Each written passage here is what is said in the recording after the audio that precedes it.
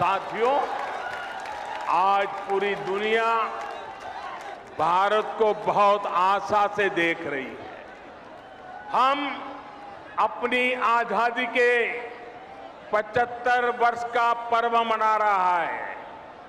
अगले 25 वर्षों में भारत जिस ऊंचाई पर होगा, उसका रोड मैप बना रहे हैं।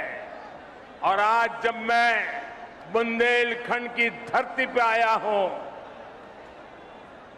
झांसी की रानी लक्ष्मीबाई के इलाके में आया हूँ।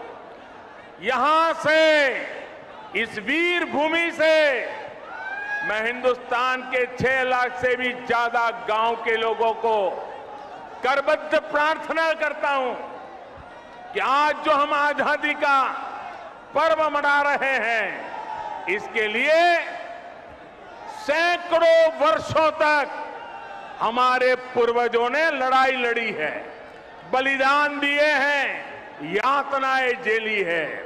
जब 75 वर्ष है, हमारा दायित्व बनता है, अभी से योजना बनाए।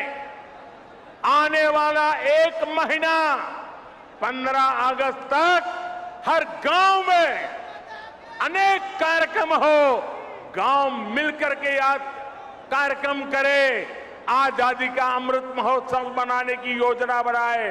वीरों को याद करे, बलिदानियों को याद करे, स्वतंत्र सेनानियों को याद करे। हर गाँव में नया संकल्प लेने का एक वातावरण बने। ये मैं सब देशवासियों को आज इस वीरों की भूमि से प्रार्थना करता हूँ। साथियों, आज भारत में ऐसा कोई भी काम नहीं होना चाहिए जिसका आधार वर्तमान की आकांक्षा और भारत के बेहतर भविष्य से जुड़ा हुआ न हो।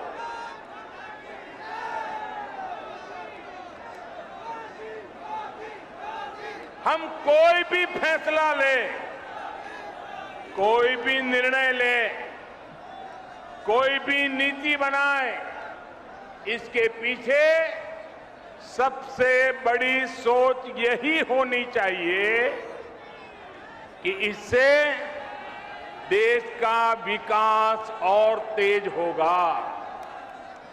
हर वो बात जिससे देश को नुकसान होता है, देश का विकास प्रभावित होता है, उससे हमें हमेशा हमेशा दूर रखना है।